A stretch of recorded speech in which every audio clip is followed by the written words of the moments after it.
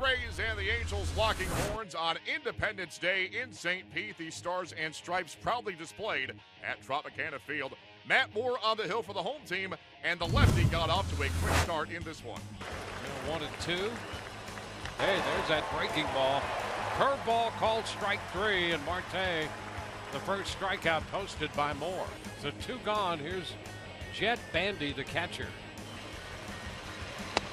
Strike three call. He takes the fastball, mid 90s fastball.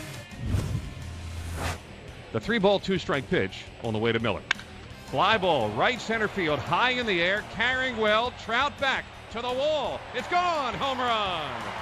Brad Miller sails one over the 370 sign and gives the Rays a 1 0 lead. So let's see if the Rays can regain the lead here. 10 o'clock swinging a fly ball well hit into right field, pushing Robinson to the track, to the wall, and it's is it off the wall? No, it's gone. Bende signals home run and Morrison circles the bases. It's 2 to 1 Rays.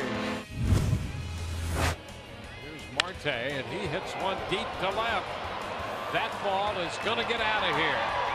Marte on a first pitch fastball ties the game with his fifth home run of the year. Logan Morrison. Now Morrison with a popper in the left in front of Daniel Nava. Here comes Miller to the plate. He will score, and the Rays promptly take the lead. 3-2 ball game. 1-2. Round ball, fair. Back at third, past Escobar. Into the corner. Morrison hits third. They're going to wave him around. And the throw to the plate not in time. Into third goes Souza. And the Rays lead 4 to 2. Ryan Garton now, pitcher number four for the Rays, on its way. Popped up. Right side foul. Morrison waiting. Rays win it. Rays win. Garton gets the final out.